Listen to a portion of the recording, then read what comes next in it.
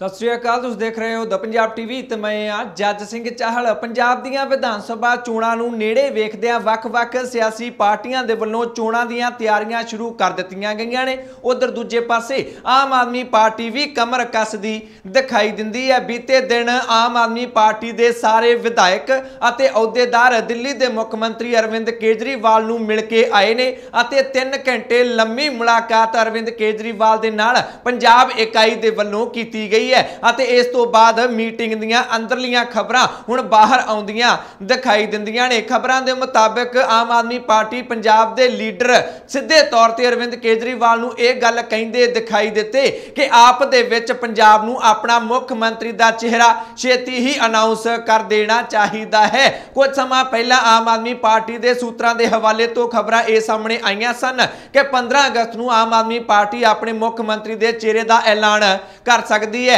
ਪਹਿਲਾਂ ਕਈ ਤਰੀਕੇ, ਕਈਆਂ ਬਾਰੇ ਸੋਚਿਆ ਜਾ ਰਿਹਾ ਸੀ ਕਿ ਉਹਨਾਂ ਨੂੰ ਚਿਹਰਾ ਬਣਾਇਆ ਜਾ ਸਕਦਾ ਹੈ। ਪਰ ਪਿਛਲੀ ਵਾਰ ਜਦੋਂ ਅਰਵਿੰਦ ਕੇਜਰੀਵਾਲ ਪੰਜਾਬ ਆਏ ਅਤੇ ਉਹਨਾਂ ਨੇ ਇਹ ਗੱਲ ਸਾਫ਼ ਕਰ ਦਿੱਤੀ ਕਿ ਮੁੱਖ ਮੰਤਰੀ ਦਾ ਉਮੀਦਵਾਰ ਆਮ ਆਦਮੀ ਪਾਰਟੀ ਦਾ ਪੰਜਾਬ ਤੋਂ ਹੀ ਹੋਏਗਾ ਅਤੇ ਇੱਕ ਸਿੱਖ ਚਿਹਰਾ ਹੋਏਗਾ ਜਿਸ ਨੇ ਕਿ ਕਾਫੀ ਚਰਚਾਵਾਂ ਤੇ ਵਿਰਾਮ ਲਾ ਦਿੱਤਾ। ਪਰ ਅਜੇ ਵੀ ਪੂਰੀ ਤਰ੍ਹਾਂ ਸਪਸ਼ਟ ਨਹੀਂ ਹੋ ਸਕਿਆ ਹੈ ਕਿ ਆਮ ਆਦਮੀ ਪਾਰਟੀ ਮੁੱਖ ਮੰਤਰੀ ਦਾ ਚਿਹਰਾ ਉਮੀਦਵਾਰ ਕਿਸ ਨੂੰ ਬਣਾਵੇਗੀ। ਇਸ ਮੀਟਿੰਗ ਤੋਂ ਬਾਅਦ ਆ ਪੰਜਾਬ ਦੇ ਪ੍ਰਧਾਨ, ਭਗਵੰਤ ਮਾਨ ਨੇ ਕਿਵੇਂ ਬਾਈ ਦੀਆਂ ਚੋਣਾਂ ਨੂੰ ਲੈ ਕੇ ਹੰਕਾਰ ਭਰੀ ਹੈ? ਸਭ ਤੋਂ ਪਹਿਲਾਂ ਤੁਹਾਨੂੰ ਭਗਵੰਤ ਮਾਨ ਦਾ ਬਿਆਨ ਸੁਣਾ ਦਿੰਨੇ ਆ 2017 ਤੋਂ ਵੀ ਵੱਧ ਮਜ਼ਬੂਤੀ ਨਾਲ ਕਿਵੇਂ ਲੜੂਗੀ, ਕੀ ਰਣਨੀਤੀ ਰਹੂਗੀ, ਇਹਦੇ ਬਾਰੇ ਵਿਚਾਰ ਕੀਤਾ ਗਿਆ।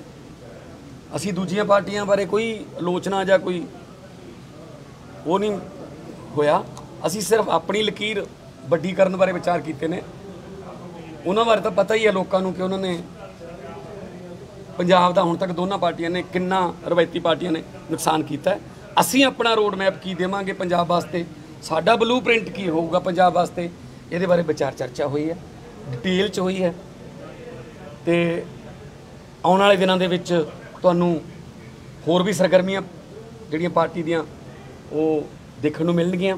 ਇਸ ਮੌਕੇ ਭਗਵੰਤ ਮਾਨ ਭਾਵੇਂ ਕਾਫੀ ਉਤਸ਼ਾਹ ਨਾਲ ਭਰੇ ਹੋਏ ਦਿਖਾਈ ਦਿੰਦੇ ਨੇ, ਪਰ ਵਿਰੋਧੀ ਪਾਰਟੀਆਂ ਦੇ ਵੱਲੋਂ ਆਮ ਆਦਮੀ ਪਾਰਟੀ ਤੇ ਤਿੱਖੇ ਨਿਸ਼ਾਨੇ ਸਾਧੇ ਜਾ ਰਹੇ ਨੇ। ਖਾਸ ਤੌਰ ਤੇ ਪੰਜਾਬ ਦੀ ਖੇਤਰੀ ਪਾਰਟੀ ਸ਼੍ਰੋਮਣੀ ਅਕਾਲੀ ਦਲ ਇਸ ਨੂੰ ਦਿੱਲੀ ਅਤੇ ਪੰਜਾਬ ਦਾ ਮੁੱਦਾ ਬਣਾਉਂਦਾ ਦਿਖਾਈ ਦਿੰਦਾ ਹੈ। ਸ਼੍ਰੋਮਣੀ ਅਕਾਲੀ ਦਲ ਦੇ ਮਜੀਠਾ ਤੋਂ ਵਿਧਾਇਕ ਬਿਕਰਮ ਸਿੰਘ ਮਜੀਠੀਆ ਦਾ ਕਹਿਣਾ ਹੈ ਕਿ ਪੰਜਾਬੀ ਦਿੱਲੀ ਦੇ ਰਿਮੋਟ ਕੰਟਰੋਲ ਦੇ ਨਾਲ ਨਹੀਂ ਚੱਲਣਗੇ। ਜਿਹੜੇ ਕੇਜਰੀਵਾਲ ਸਾਹਿਬ ਨੇ ਉਹਨਾਂ ਦੀ ਕਿਸੇ ਗੱਲ ਦਾ ਭਰੋਸਾ ਪੰਜਾਬ ਆਉਂਦੇ ਸੀ ਤੇ ਕਹਿੰਦੇ ਸੀ ਐਸਵਾਈਐਲ ਨਹੀਂ ਬਣਨੀ ਚਾਹੀਦੀ। ਹਰਿਆਣੇ ਜਾ ਕੇ ਕਹਿੰਦੇ ਸੀ ਨਹੀਂ ਬਣਨੀ ਚਾਹੀਦੀ ਹਰਿਆਣੇ ਨੂੰ ਪਾਣੀ ਦਾ ਲੋੜ ਹੈ। ਦਿੱਲੀ ਜਾ ਕੇ ਸੁਪਰੀਮ ਕੋਰਟ 'ਚ ਐਫੀਡੇਵਿਟ ਦੇਤਾ ਕਿ ਦਿੱਲੀ ਨੂੰ ਪਾਣੀ ਦੀ ਬੜੀ ਲੋੜ ਹੈ ਇਸ ਲਈ ਐਸਵਾਈਐਲ ਬਣਨਾ ਚਾਹੀਦਾ। ਜਿਹੜਾ ਐਂਟੀ ਐਂਟੀ ਪੰਜਾਬ ਸਟਾਂਸ ਹੈ ਪੰਜਾਬ ਦੇ ਵਿਰੁੱਧ ਜਿਹੜਾ ਫੈਸਲੇ ਕਰ ਰਹੇ ਆ ਪੰਜਾਬੀ ਆਪ ਦਾ ਫੈਸਲਾ ਆਪ ਕਰ ਸਕਦੇ ਆ। ਦਿੱਲੀ ਦੇ ਰਿਮੋਟ ਕੰਟਰੋਲ ਦੀ ਲੋੜ ਨਹੀਂ ਪੰਜਾਬੀ ਕੇਪੇਬਲ ਏਬਲ ਲੋਕ ਨੇ ਕੁਰਬਾਨੀ ਵਾਲੇ ਲੋਕ ਨੇ ਆਪ ਦਾ ਫੈਸਲਾ ਆਪ ਕਰਨਗੇ। ਦਿੱਲੀ ਦਰਬਾਰ ਦੇ ਰਿਮੋਟ ਕੰਟਰੋਲ ਨਾਲ ਪੰਜਾਬੀ ਨਹੀਂ ਚੱਲੂਗੀ। ਸ਼੍ਰੋਮਣੀ ਅਕਾਲੀ ਦਲ ਦਿੱਲੀ ਅਤੇ ਪੰਜਾਬ ਦਾ ਮੁੱਦਾ ਇਸ ਕਰਕੇ ਬਣਾ ਰਿਹਾ ਹੈ ਕਿਉਂਕਿ ਸ਼੍ਰੋਮਣੀ ਅਕਾਲੀ ਦਲ ਤੋਂ ਇਲਾਵਾ ਜਿਹੜੀਆਂ ਬਾਕੀ ਦੋ ਪਾਰਟੀਆਂ ਨੇ, ਉਹਨਾਂ ਦਾ ਸਿੱਧੇ ਤੌਰ ਤੇ ਜਿਹੜਾ ਹਾਈ ਕਮਾਂਡ ਹੈ, ਉਹ ਦਿੱਲੀ ਵਿੱਚ ਬੈਠਾ ਹੋਇਆ ਹੈ ਅਤੇ ਜਿਹੜਾ ਵੀ ਫੈਸਲਾ ਹੁੰਦਾ ਹੈ ਉਹ ਦਿੱਲੀ ਤੋਂ ਹੀ ਹੋਣਾ ਹੁੰਦਾ ਹੈ।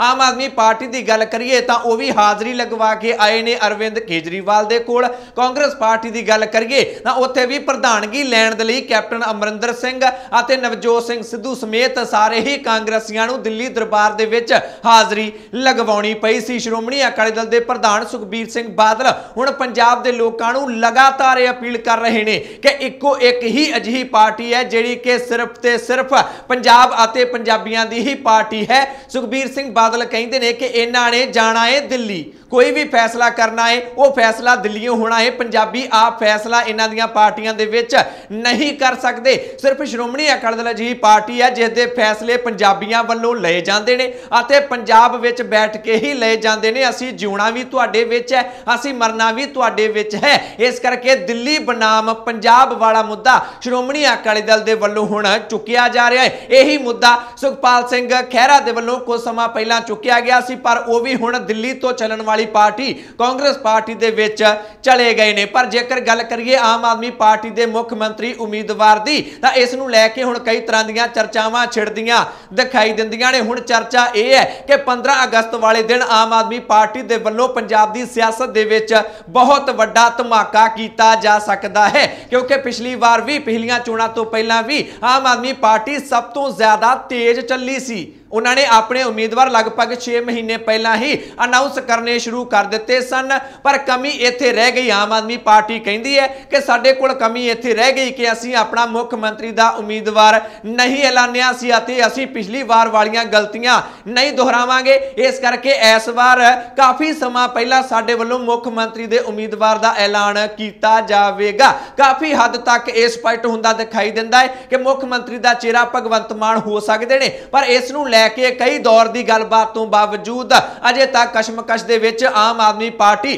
ਫਸੀ ਦਿਖਾਈ ਦਿੰਦੀ ਹੈ, ਕਿਉਂਕਿ ਭਗਵੰਤ ਮਾਨ ਦੀ ਪਰਫਾਰਮੈਂਸ ਦੀ ਜੇਕਰ ਗੱਲ ਕਰੀਏ ਐਜ਼ ਅ ਪ੍ਰਧਾਨ ਅਤੇ ਐਜ਼ ਅ ਸੰਸਦ ਮੈਂਬਰ, ਤਾਂ ਉਹਨਾਂ ਦੀ ਪਰਫਾਰਮੈਂਸ ਬਹੁਤ ਵਧੀਆ ਹੈ। ਪਰ ਕਈ ਪੱਖ ਭਗਵੰਤ ਮਾਨ ਦੇ ਅਜਿਹੇ ਨੇ, ਜਿਨ੍ਹਾਂ ਨੂੰ ਲੈ ਕੇ ਆਮ ਆਦਮੀ ਪਾਰਟੀ ਵੀ ਮੁੜ ਵਿਚਾਰ ਕਰਨ ਦੇ ਮੂਡ ਦੇ ਵਿੱਚ ਦਿਖਾਈ ਦਿੰਦੀ ਹੈ। ਹਾਲਾਂਕਿ ਆਮ ਆਦਮੀ ਪਾਰਟੀ ਪੰਜਾਬ ਦੇ ਕੋਲ ਭਗਵੰਤ ਮਾਨ ਤੋਂ ਵੱਡਾ ਕੋਈ ਵੀ ਚਿਹਰਾ ਇਸ ਵੇਲੇ ਪੰਜਾਬ ਇਕਾਈ ਦੇ ਵਿੱਚ ਨਹੀਂ ਹੈ। ਇਸ ਕਰਕੇ ਮੰਨਿਆ ਜਾ ਰਿਹਾ ਹੈ ਕਿ ਅੱਜ ਨਹੀਂ ਤਾਂ ਕੱਲ ਭਗਵੰਤ ਮਾਨ ਨੂੰ ਹੀ ਆਮ ਆਦਮੀ ਪਾਰਟੀ ਦੇ ਵੱਲੋਂ ਆਪਣਾ ਮੁੱਖ ਮੰਤਰੀ ਦਾ ਉਮੀਦਵਾਰ ਬਣਾਇਆ ਜਾ ਸਕਦਾ ਹੈ। ਜੇਕਰ ਗੱਲ ਕਰੀਏ ਆਮ ਆਦਮੀ ਪਾਰਟੀ ਦੇ ਵਰਕਰਾਂ ਦੀ, ਤਾਂ ਉਹਨਾਂ ਦੇ ਵੱਲੋਂ ਵੀ ਲਗਾਤਾਰ ਇਹ ਮੰਗ ਕੀਤੀ ਜਾ ਰਹੀ ਹੈ ਕਿ ਭਗਵੰਤ ਮਾਨ ਨੂੰ ਹੀ ਮੁੱਖ ਮੰਤਰੀ ਦਾ ਉਮੀਦਵਾਰ ਆਮ ਆਦਮੀ ਪਾਰਟੀ ਨੂੰ ਪੰਜਾਬ ਦੇ ਵਿੱਚ ਬਣਾਉਣਾ ਚਾਹੀਦਾ ਹੈ। ਜਿਹੜਾ ਅਸੀਂ ਆਮ ਆਦਮੀ ਪਾਰਟੀ ਬਾਰੇ ਸਰਵੇ ਕੀਤਾ ਸੀ ਆਪਣੇ YouTube ਚੈਨਲ ਦੇ ਜ਼ਰੀਏ, ਉਹਦੇ ਵਿੱਚ ਵੀ ਜ਼ਿਆਦਾਤਰ ਲੋਕਾਂ ਦੇ ਵੱਲੋਂ 80% ਦੇ ਕਰੀਬ ਲੋਕਾਂ ਦੇ ਵੱਲੋਂ ਭਗਵੰਤ ਮਾਨ ਦੇ ਨਾਲ ਨਾਂ ਤੇ ਹੀ ਮੋਹਰ ਲਾਈ ਗਈ ਸੀ ਕਿ ਚੋਣਾਂ ਦੇ ਵਿੱਚ ਭਗਵੰਤ ਮਾਨ ਨੂੰ ਹੀ ਸੀਐਮ ਦਾ ਚਿਹਰਾ ਆਮ ਆਦਮੀ ਪਾਰਟੀ ਦੇ ਵੱਲੋਂ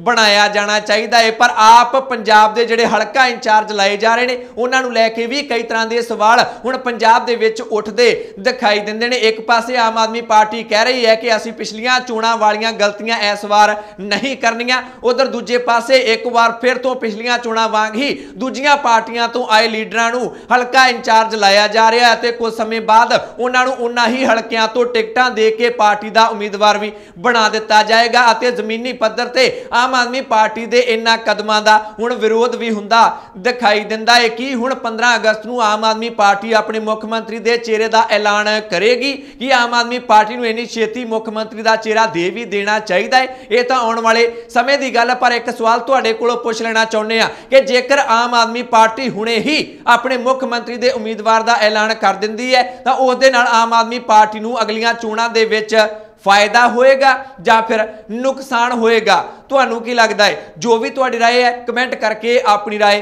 ਜ਼ਰੂਰ ਦਿਓ ਜੇਕਰ ਇਸੇ ਤਰ੍ਹਾਂ ਹੀ ਹਰ ਖਬਰ ਨੂੰ ਨਿਰਪੱਖਤਾ ਨਾਲ ਦੇਖਦੇ ਰਹਿਣਾ ਚਾਹੁੰਦੇ ਹੋ ਤਾਂ YouTube ਤੇ ਦਾ ਪੰਜਾਬ ਟੀਵੀ ਦੇ ਚੈਨਲ ਨੂੰ ਸਬਸਕ੍ਰਾਈਬ ਕਰ ਲਓ ਬੈਲ ਵਾਲਾ ਬਟਨ ਜ਼ਰੂਰ ਦਬਾ ਲੈਣਾ ਜੇਕਰ ਇਹ ਖਬਰ ਤੁਸੀਂ Facebook ਤੇ ਦੇਖ ਰਹੇ ਹੋ ਤਾਂ Facebook ਤੇ ਦਾ ਪੰਜਾਬ ਟੀਵੀ ਦਾ ਪੇਜ ਲਾਈਕ ਕਰ ਲਓ ਮੈਂ ਜੱਜ ਸਿੰਘ ਚਾਹਲ ਅਗਲੀ ਵਾਰ ਫਿਰ ਹਾਜ਼ਰ ਹੋਵਾਂਗਾ ਤੁਸੀਂ ਦੇਖਦੇ ਰਹੋ ਦਾ ਪੰਜਾਬ ਟੀਵੀ ਹਰ ਖਬਰ ਦਾ ਸੱਚ